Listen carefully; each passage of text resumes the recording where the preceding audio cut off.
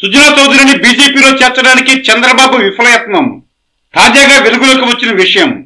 చంద్రబాబుకు బినామీగా పేరున్న సుజనా చౌదరి ఆరు వేల కోట్లకు బ్యాంకులను ముంచిన వ్యవహారం సంచలనంగా మారింది.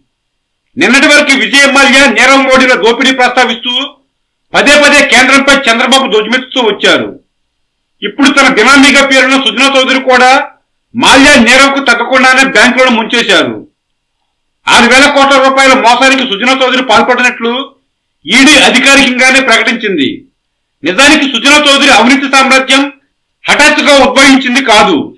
దశాబ్ద కాలంగానే బ్యాంకుల నుంచి అప్పనంగా వేల కోట్ల రుణాలు తీసుకోవడం వాటిని డమ్మీ కంపెనీల ద్వారా అజ్ఞాతంలోకి మళ్ళించడం జరుగుతూనే ఉంది. రెండేళ్ళ క్రితం బ్యాంకుల ఫిర్యాదు మేరకు సిబిఐ మూడు కేసులు నమోదు చేసింది. కానీ అప్పట్లో ఎన్డీఏలో కేంద్ర మంత్రిగా సుజన ఉండడంతో వ్యవహారం కేసుల నమోదు వరకే ఆగింది. వేల కోట్ల మోసం కేసు తీవ్రత ఏ స్థాయిలో ఉంటుందన్నది సుజనా చౌదరికి చంద్రబాబుకు తెలియంది కాదు. అందుకే బీజేపీతో టీడీపీ స్నేహం తెచ్చుకునే సమయంలో సుజనా చౌదరి బీజేపీలోకి వెళ్ళేందుకు ప్రయత్నించారు. దీనిపై అప్పట్లో మీడియాలోనే భారీగా కథనాలు వచ్చాయి. వేల కోట్ల అక్రమాలకు పాల్పడిన సుజనా చౌదరి టీడీపీలో కంటే జాతీయ పార్టీ అయిన బీజేపీలో ఉండడం సేఫ్ అని చంద్రబాబు నాయుడు కూడా భావించి ఉండవచ్చు. దీనికి బలాన్నిచ్చే ఉదాహరణ కూడా ఉంది. ఓటుకు నోటు కేసులో రెడ్ హ్యాండెడ్గా దొరికిపోయిన రేవంత్ రెడ్డి తనతో ఉంటే ఇబ్బంది అని చెప్పి ఆయనను తెలుగుగా కాంగ్రెస్లోకి పంపించారు.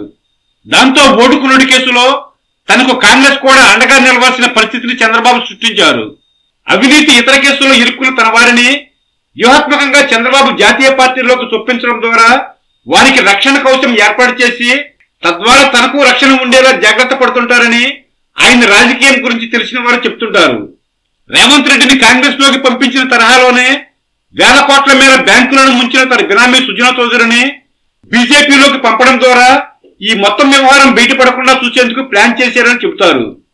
కానీ సుజనా చౌదరికి బీజేపీలోకి ఎంట్రీ దొరకలేదు. దాంతో ఇబ్బంది వచ్చి పడింది.